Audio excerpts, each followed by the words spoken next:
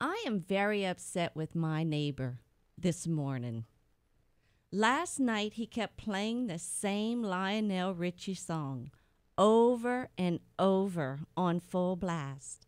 I wouldn't mind normally, but it was all night long.